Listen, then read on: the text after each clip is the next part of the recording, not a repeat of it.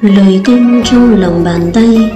67 Toàn bị người đời chê trách, Hay toàn được người đời khen ngợi. Đó là điều mà quá khứ chưa từng có. Hiện tại không dễ gì tìm ra, Và mãi mãi sau này cũng không dễ gì thấy được. Hòn đất nhỏ bên đường, Có bé nhỏ đến đâu, Cũng sẵn lòng tiêu mang một vài hạt cỏ dại xa lạ Mà cơn gió mải trôi ngang qua, Vô tình đánh rơi không biết. Cẩn thận, cất vào lòng, Chờ mùa xong cơn gió trở lại, mang đi.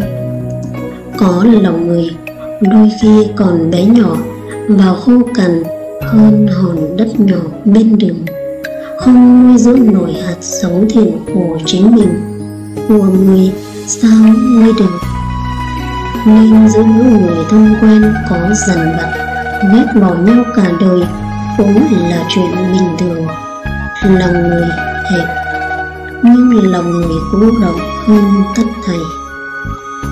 Bởi vậy, nên mới có đôi mắt sâu hơn đại dương, có đôi vai vững chãi hơn núi cao, có đôi tay ấm hơn ngọn lửa, có lời nói thơm hơn hoa dại có trái tim còn trong hơn giọt nước nơi đầu nguồn giữa những con người xa lạ, có cho nhau những tình cảm vô điều kiện, cũng là chuyện bình thường. Như hòn đất nhỏ bên đường, cứ mang một hạt cỏ dại xa lạ đi lạc lòng người rầu. Trong cuộc sống thương ghét nhau là chuyện bình thường, nhưng bình thản được trước những chuyện thương ghét bình thường này luôn là điều phi thường.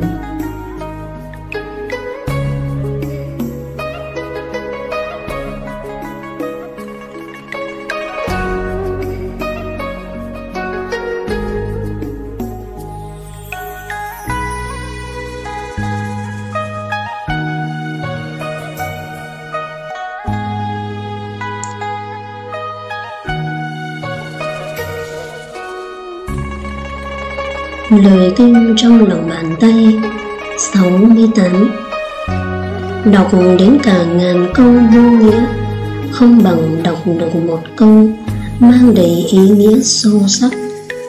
Đọc xong, thấy mình đủ can đảm Đối diện hết mọi biến cố trong cuộc đời này, Để rồi bình thản.